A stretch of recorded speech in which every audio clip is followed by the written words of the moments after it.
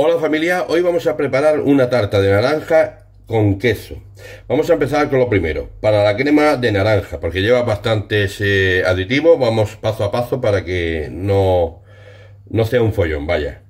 Vamos a preparar primero la crema. La crema son 70 mililitros de zumo de limón, 250 mililitros de zumo de naranja, 30 gramos de harina de maíz refinado y 50 gramos de azúcar. Empezamos. Bien, ponemos la harina en el bol. Ahí. Y el azúcar. Y vamos a mezclar. Como si fuera una papilla. Bien, calentamos el cazo, ponemos la lumbre. Y ahora vamos a echar el líquido. Vamos a echar lo que es el zumo de limón. Y el zumo de naranja. Y vamos a mezclarlo bien.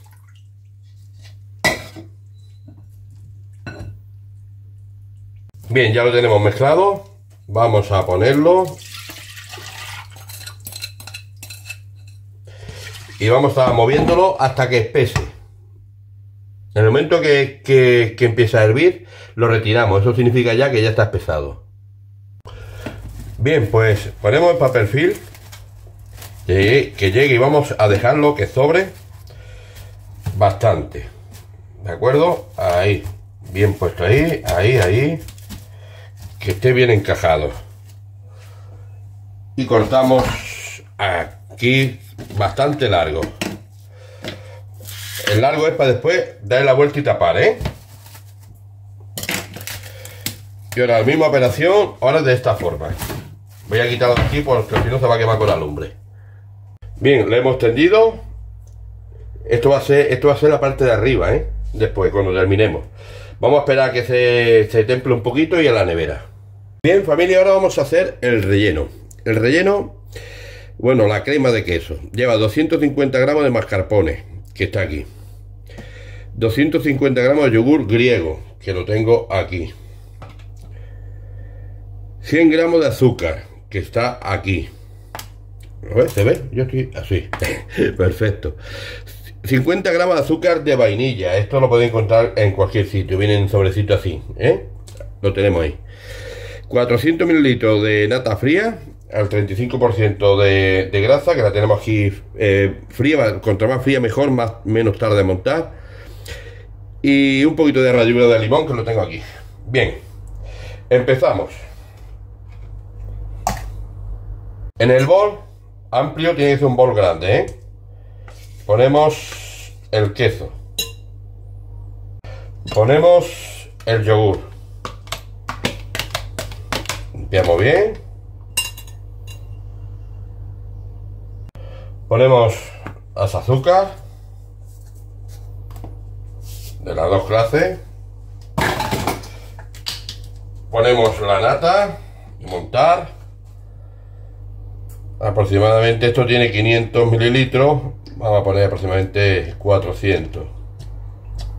Vale, poner un poquito más, no pasa nada. Bueno, yo lo voy a echar todo porque es que el morde mío es más grande, ¿eh? Bien, vamos a poner el, limón que le hemos, le hemos limpiado antes. Vamos a rallar. Vamos a batir. La varilla le he tenido el congelador, ¿eh? Vamos a partirlo todo. Vamos a empezar con velocidad corta y para que no salpique mucho y vamos subiendo.